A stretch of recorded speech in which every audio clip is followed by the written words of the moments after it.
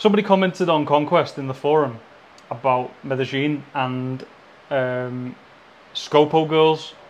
So for, I need you to firstly explain what a Scopo girl is and how likely is it that guys coming here are gonna get attacked by them basically. So first of all, Scopo is just short for scopolamine, which is a drug that you can find in this part of the world that grows naturally. I don't know if you've ever seen that white flower. You can see it sometimes, like if you're driving on the road, you can see it growing in trees. Kind of looks like a, a trumpet. Right. So it, it grows down, it's white. They call it devil's breath or devil's trumpet.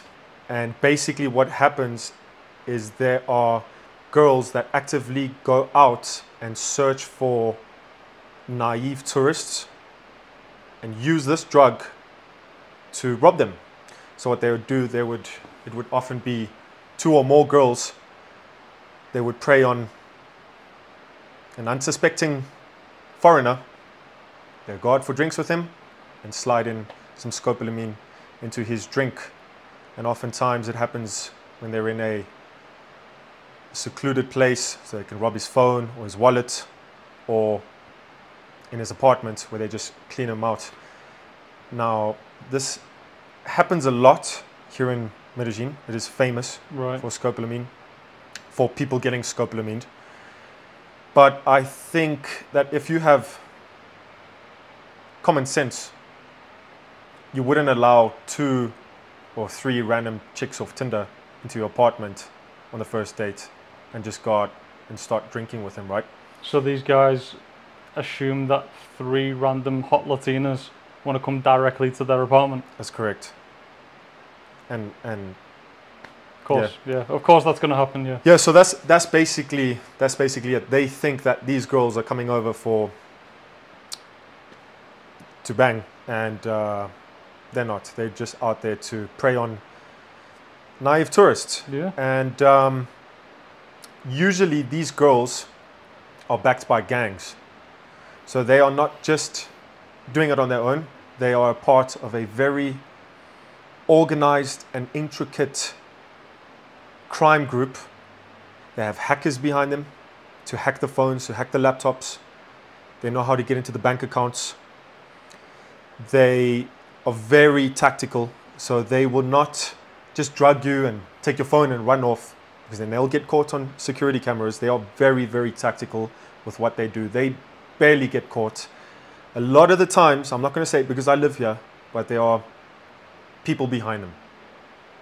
So I don't want to get in trouble because I live here, but there is certain people in power that are corrupt and help let these organized crime groups thrive in the city.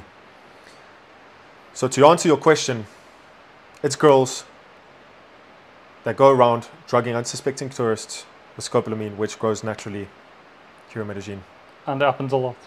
It happens a lot. It happens Right. a lot to to tourists. Uh, They, they don't do it to each other because um, yeah, it just it just it's insane. Speaking of which, it has never happened to me. Why? And this is the thing that a lot of people have noticed in my videos is that I am very, very conscious when it comes to sussing out people.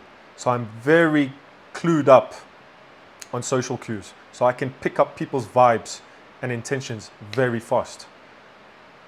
So if I feel that a girl has got the wrong intentions, I'm out of there. I'm not going to mm-hmm. be spending my time or inviting her back to my place. But a lot of naive tourists that think, oh, it's Colombia, girls are easy, they're not going to think that. They're just going to think, oh, yeah, I'm getting, I'm getting two bitches tonight, and they're going to get end up drugged.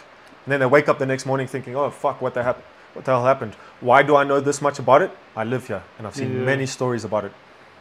So the saying goes, if it feels too good to be true, Probably, it probably is. Yeah. You're not going to get that threesome with No. them two hot Latinas. or foursome. So I've seen a lot of these news articles. If you live in Medellin, you'll see it come up on Instagram, on Facebook. Guys just getting robbed, mugged, drugged, killed, even for their cell phone. Um, and it's their own fault at the end of the day. You shouldn't be picking up hookers. And secondly, you shouldn't be inviting random girls into your place for a threesome. You should scope them out. Literally scope them out before they scope, up you out. Scopo girls. Scope out the Scopo girls before they scope you out.